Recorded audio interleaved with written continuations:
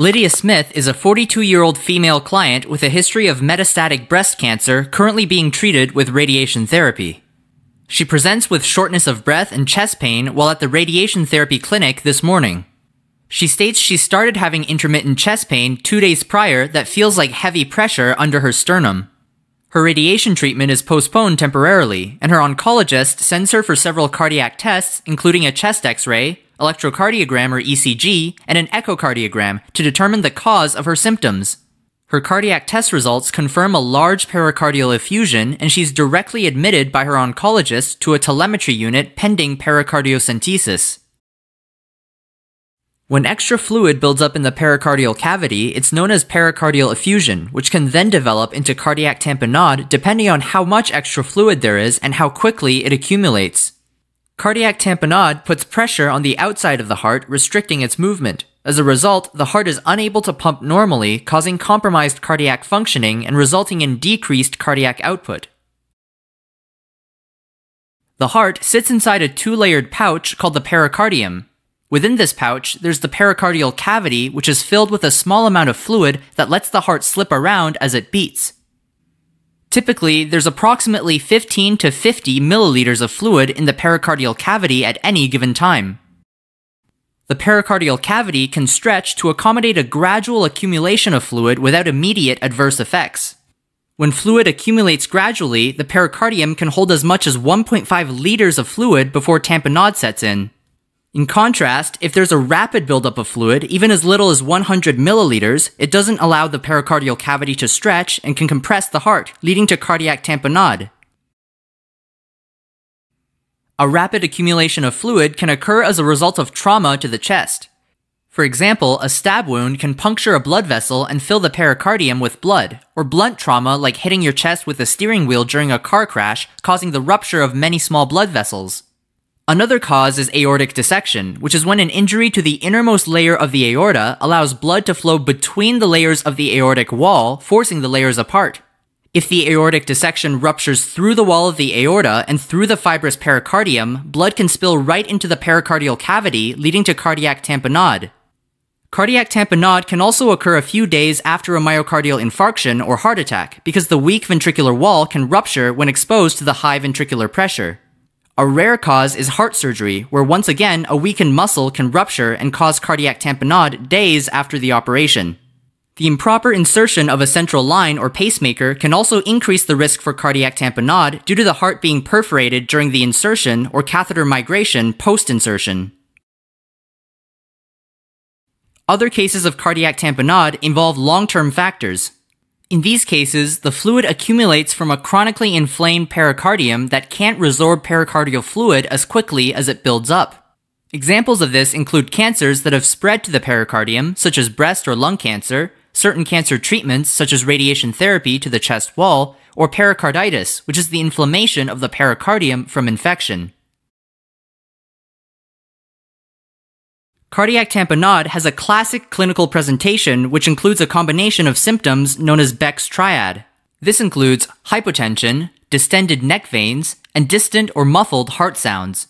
If cardiac tamponade develops, fluid puts pressure on the heart and prevents it from fully stretching or relaxing between contractions. As a result, the cardiac chambers can't fill with blood properly, which causes a decrease in cardiac output, leading to hypotension. The accumulation of fluid also makes it difficult for the atria to expand enough to accommodate venous blood returning to the heart. As a result, the blood will have nowhere to go but back into the veins. This is why you may see distended jugular veins when you look at the neck of a person with cardiac tamponade. When listening to the chest, fluid accumulation can result in muffled or distant heart sounds. Other symptoms that can be present include pulsus paradoxus, which is when the systolic blood pressure drops more than 10 millimeters of mercury during inspiration. Tachycardia results because less blood leaving the heart means less blood is reaching the organs and tissues, so the heart tries to compensate for the low output by beating faster. This decreased cardiac output can also lead to weak peripheral pulses. Pressure from the fluid accumulation can also cause chest pain or discomfort. Decreased cardiac output can cause dyspnea because there's less blood flow to the lungs. As cardiac tamponade progresses, the heart can ultimately become ischemic and stop beating altogether. This dangerous situation requires immediate intervention. A diagnosis of cardiac tamponade often starts with an electrocardiogram or ECG.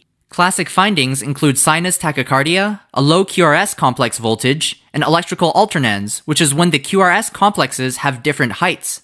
However, the most precise diagnostic tool is an echocardiogram, which can show the excess pericardial fluid and the heart swinging around inside the pericardial cavity. A chest x ray will show an enlarged pericardial silhouette if the accumulation of fluid is more than 200 milliliters. Several lab tests, including complete blood count, chemistry panel, and cardiac biomarkers, can be helpful in determining any contributing factors such as infection. Cardiac tamponade is treated by inserting a needle directly into the pericardium and draining the pericardial fluid to relieve the pressure surrounding the heart, a process called pericardiocentesis. The removal of excess fluid with a pericardiocentesis results in dramatic improvement in hemodynamic status. Prior to the procedure, the patient is provided with oxygen therapy and bed rest with the head of the bed elevated to reduce the heart's workload, IV fluids for volume expansion to increase blood flow, and medication for chest pain. Intake and output should be monitored, in particular urine output, since a drop in urine output may indicate decreased renal perfusion. Following the pericardiocentesis, the underlying disease is addressed. Now that we understand pericardial effusion and cardiac tamponade, let's get back to our client Lydia, who has now been admitted to a telemetry unit. Her pericardiocentesis has been scheduled for the following day. After entering her room, you introduce yourself, wash your hands, and confirm her identity. You ask her how she's doing, and she says she's anxious about her procedure tomorrow. She also states she's been having chest pain and shortness of breath the last few days. She rates her chest pain as a 6 out of 10 on a 0 to 10 scale. You ask her if the pain radiates anywhere else, which she denies. Upon visual inspection, you do not notice any jugular vein distension. Her lungs are clear to auscultation, but breath sounds are diminished at the bases. Listening to her chest, her heart sounds are muffled but regular, while palpating her peripheral pulses, you make note that her pulse grade is 2 plus, suggesting a slightly more diminished pulse than normal. Capillary refill is more than 2 seconds. Her skin is cool and dry. Her vital signs are heart rate 105 beats per minute, blood pressure 115 over 65 millimeters of mercury, respirations 24 per minute, temperature 98.6 degrees Fahrenheit or 37 degrees Celsius, and oxygen saturation 90% on room air. Her most recent diagnostic tests include an echocardiogram showing excess pericardial fluid and a chest x ray that reveals an enlarged cardiac silhouette. Her recent ECG shows sinus tachycardia, a low QRS complex voltage, and electrical alternans.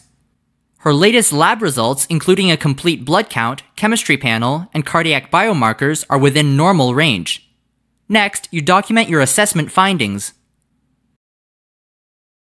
Based on the assessment data you've collected, your nursing diagnoses include decreased cardiac output related to increased pericardial pressure, impaired gas exchange related to impaired ventilation and perfusion, ineffective tissue perfusion related to decreased blood flow, acute chest pain related to fluid accumulation and pericardial pressure, and deficient knowledge related to planned pericardiocentesis and postoperative care.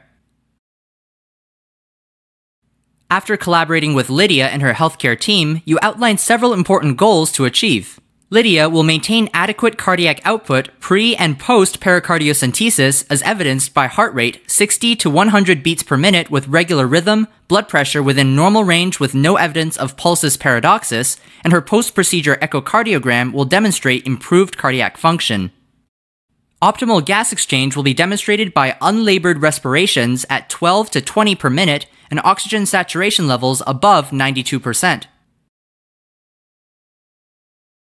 She'll maintain tissue perfusion as evidenced by palpation of her peripheral pulses at a grade of 3 plus or a normal pulse, capillary refill under 2 seconds, and warm and dry skin.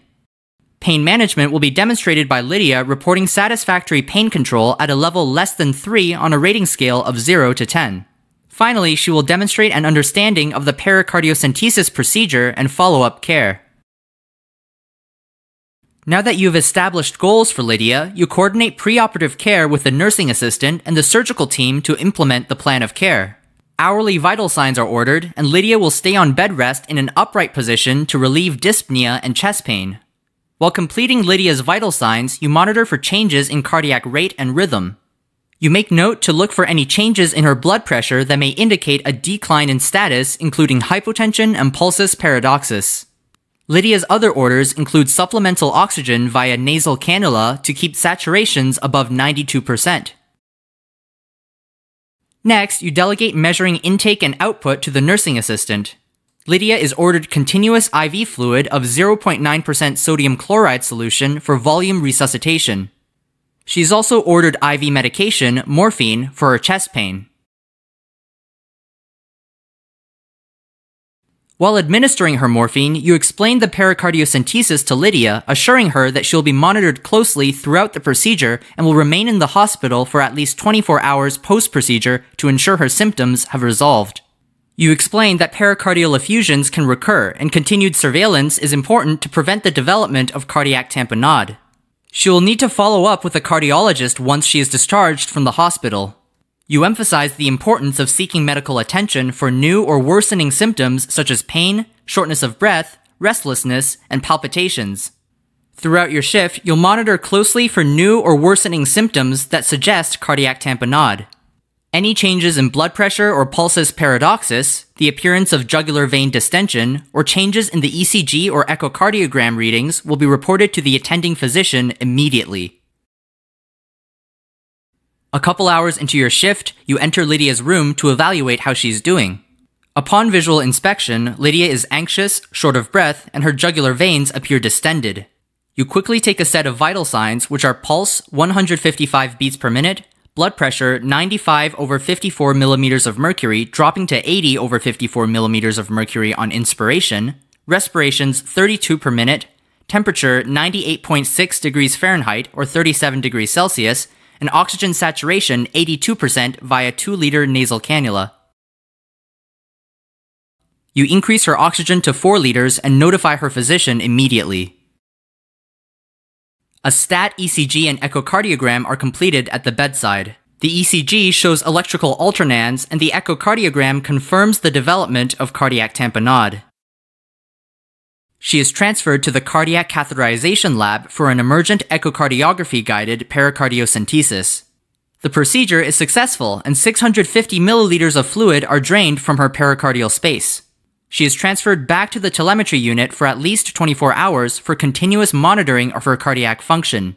Her latest vitals are pulse 85 beats per minute, blood pressure 118 over 70 millimeters of mercury, respirations 16 per minute, temperature 98.6 degrees Fahrenheit or 37 degrees Celsius, oxygen saturation 94% on 2 liters of oxygen via nasal cannula, and she's rating her pain 2 out of 10. She will require repeat chest x rays and echocardiograms going forward and will be followed by a cardiologist. She will follow up with her oncologist in a week to monitor her response to the procedure and make adjustments to her treatment plan as required. Alright, as a quick recap.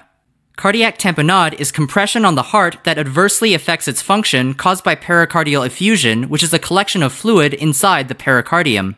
Cardiac tamponade can result from acute trauma, such as a car crash, or more long term causes, such as cancer. Cardiac tamponade classically presents with Beck's triad hypotension, distended neck veins, and distant heart sounds during auscultation. Treatment involves pericardiocentesis and addressing the underlying condition. Your assessment reveals that Lydia was experiencing shortness of breath, chest pain, muffled heart sounds, and weak peripheral pulses. Your nursing diagnoses were decreased cardiac output, impaired gas exchange, ineffective tissue perfusion, pain, and deficient knowledge. The goals you identified when planning care for Lydia included maintaining adequate cardiac output and tissue perfusion, improving gas exchange, controlling pain, and understanding her upcoming procedure and follow up care. Along with the healthcare team, you work to implement actions to achieve the goals of the plan of care for Lydia. Prior to Lydia's discharge, you and the healthcare team will continue to evaluate if these goals have been met.